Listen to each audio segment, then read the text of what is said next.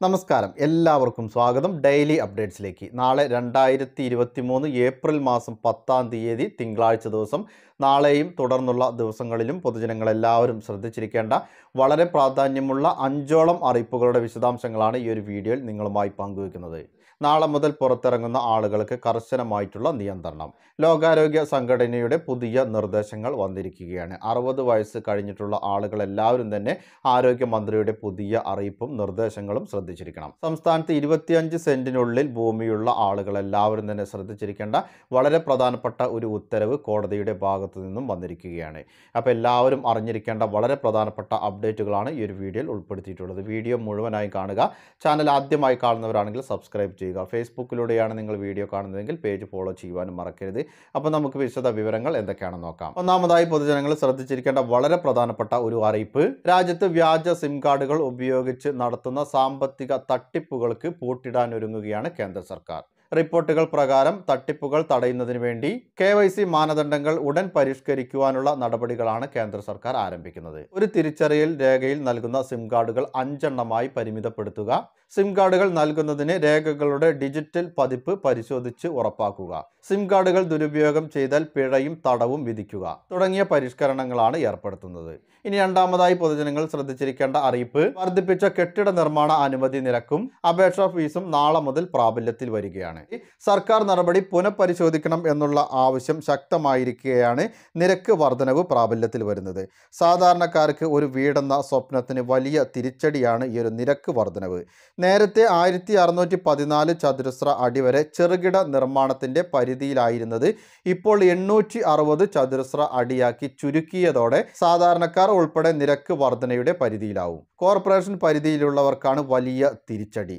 നേരത്തെ ആയിരത്തി അറുന്നൂറ്റി പതിനാല് ചതുരശ്ര അടി വരെ താമസ കെട്ടിടങ്ങളുടെ നിർമ്മാണ അനുമതി നിരക്ക് ഒരു ചതുരശ്ര മീറ്ററിന് അഞ്ച് രൂപയായിരുന്നത്. ഈ നിരക്ക് പ്രകാരം എണ്ണൂറ്റി അറുപത് പോയിന്റ് എട്ട് ചതുരശ്ര അടി വരെ ചതുരശ്ര മീറ്ററിന് പതിനഞ്ച് രൂപയും അതിനു മുകളിൽ ആയിരത്തി അറുന്നൂറ്റി പതിനാല് വരെ നൂറ് രൂപയും നൽകേണ്ടി വരും. മൂവായിരത്തി ഇരുന്നൂറ്റി ഇരുപത്തിയെട്ട് ചതുരശ്ര അടി വരെ നൂറ്റി അൻപത് രൂപയും അതിനു മുകളിൽ ഇരുന്നൂറ് രൂപയുമാണ് ഫീസ്. നഗരങ്ങളിൽ പണിയുന്ന ഇടത്തരം വീടുകളുടെ ശരാശരി വിസ്തീർണം ആയിരത്തി ഇരുന്നൂറ് ചതുരശ്ര അടിയാണ്.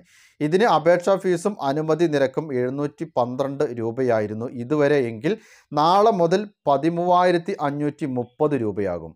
ഇനി മൂന്നാമത്തെ അറിയിപ്പിലേക്ക് വന്നാൽ സംസ്ഥാനത്ത് ഇരുപത്തിയഞ്ച് സെന്റിന് താഴെ ഭൂമിയുള്ള ആളുകൾ എല്ലാവരും തന്നെ ശ്രദ്ധിച്ചിരിക്കണം. ഇരുപത്തിയഞ്ച് സെന്റിന് കൂടുതലുള്ള ഭൂമിയിൽ നിന്ന് പ്ലോട്ട് തിരിച്ചു വാങ്ങിയ ഭൂമിയുടെ കാര്യത്തിൽ മാത്രമേ തരം മാറ്റാൻ ഫീസ് നൽകേണ്ടതുള്ളൂ എന്ന് വിലയിരുത്തിയാണ് ജസ്റ്റിസ് അനു ശിവരാമന്റെ പുതിയ ഉത്തരവ് വന്നിരിക്കുന്നത്. രണ്ടായിരത്തി എട്ടിലെ കേരള നെൽവയൽ തണ്ണീർത്തട സംരക്ഷണ നിയമപ്രകാരം നെൽവയൽ നികത്താൻ നൽകിയ അപേക്ഷ പരിഗണിച്ചെങ്കിലും രണ്ടായിരത്തി പതിനേഴിന് ശേഷമാണ് ഭൂമി വാങ്ങിയതെന്ന കാരണം ചൂണ്ടിക്കാട്ടി തരം മാറ്റാൻ ഫീസ് അടയ്ക്കണമെന്ന് അധികൃതർ ആവശ്യപ്പെട്ടതിനെ തുടർന്ന് പരാതിക്കാരൻ കോടതിയെ സമീപിക്കുകയായിരുന്നു.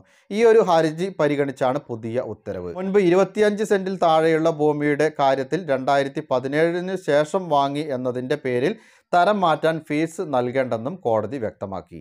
അടുത്തതായി ശ്രദ്ധിച്ചിരിക്കേണ്ട അറിയിപ്പ് സംസ്ഥാനത്ത് മഴ കനക്കുകയാണ്. നാളെ മുതൽ സംസ്ഥാനത്തിന്റെ വിവിധ ഇടങ്ങളിൽ ഒറ്റപ്പെട്ട ശക്തമായ മഴ ലഭിക്കും എന്നാണ് കാലാവസ്ഥാ വകുപ്പിന്റെ പുതിയ അറിയിപ്പ്. മുപ്പത് മുതൽ നാൽപ്പത് കിലോമീറ്റർ വേഗതയിൽ വരെ വീശിയടിച്ചേക്കാവുന്ന കാറ്റിനും ഇടിമിന്നലിനും സാധ്യതയുണ്ട്. പൊതുജനങ്ങൾ എല്ലാവരും തന്നെ വളരെയധികം ശ്രദ്ധിച്ചിരിക്കണം. അടുത്ത മൂന്ന് മണിക്കൂറിൽ തിരുവനന്തപുരം കൊല്ലം പത്തനംതിട്ട ആലപ്പുഴ കോട്ടയം ഇടുക്കി എറണാകുളം വയനാട് എന്നീ ജില്ലകളിലും ശക്തമായ മഴ പ്രവചിച്ചിരിക്കുകയാണ് കാലാവസ്ഥാ നിരീക്ഷണ കേന്ദ്രം. ഇനി അഞ്ചാമത്തെ അറിയിപ്പായി ശ്രദ്ധിച്ചിരിക്കേണ്ടത് രാജ്യത്ത് കോവിഡ് രോഗികളുടെ എണ്ണം അനുദിനം വർദ്ധിക്കുകയാണ്. കഴിഞ്ഞ ആറ് മാസത്തിനിടെയുള്ള ഏറ്റവും ഉയർന്ന നിരക്കാണ് ഇപ്പോൾ രേഖപ്പെടുത്തിയിരിക്കുന്നത്. കോവിഡ് വ്യാപനം രൂക്ഷമായ സാഹചര്യത്തിൽ ഗർഭിണികൾ പ്രായമായവർ ജീവിതശൈലി രോഗമുള്ളവർ എന്നിവർക്ക് ആരോഗ്യവകുപ്പ് മാസ്ക് നിർബന്ധമാക്കി. മരണങ്ങൾ കൂടുതലും റിപ്പോർട്ട് ചെയ്യുന്നത് അറുപത് വയസ്സ് കഴിഞ്ഞവരിലാണ്. അതുകൊണ്ട് തന്നെ ഇങ്ങനെയുള്ള ആളുകൾ പ്രത്യേകമായി തന്നെ ജാഗ്രത പാലിക്കണം. പ്രതിരോധ ശേഷി കുറയുന്നത് പുതിയ കോവിഡ് തരംഗങ്ങൾക്ക് കാരണമായേക്കാമെന്നും ഇത് നേരിടാൻ ഇന്ത്യയ്ക്ക് ശക്തമായ രോഗനിരീക്ഷണവും ഉയർന്ന വാക്സിൻ കവറേജും ആവശ്യമാണെന്ന് ലോകാരോഗ്യ സംഘടന അതായത് ഡബ്ല്യു എച്ച് ഒ ഡയറക്ടർ വ്യക്തമാക്കിയിരിക്കുകയാണ്. അതുകൊണ്ട് തന്നെ നാളെ മുതൽ ആശുപത്രികളിലേക്ക് പോകുന്നവരും കൂട്ടിരിപ്പുകാരും നിർബന്ധമായും മാസ്ക് ധരിക്കണം. കേന്ദ്ര ആരോഗ്യ മന്ത്രാലയത്തിന്റെ കണക്കുകൾ പ്രകാരം ഇന്ത്യയിൽ ശനിയാഴ്ച ആറായിരത്തി ഒരുന്നൂറ്റി അൻപത്തിയഞ്ച് പുതിയ കോവിഡ് നയന്റീൻ അണുബാധകൾ രേഖപ്പെടുത്തി. അതേസമയം സജീവ കേസുകളുടെ എണ്ണം മുപ്പത്തി ഒന്നായിരത്തി ഒരുന്നൂറ്റി തൊണ്ണൂറ്റി നാലായി ഉയർന്നു. കഴിഞ്ഞ വർഷം സെപ്റ്റംബർ പതിനാറിന് ശേഷം ആദ്യമായാണ് പ്രതിദിന കോവിഡ് കേസുകൾ ആറായിരം കടക്കുന്നത്.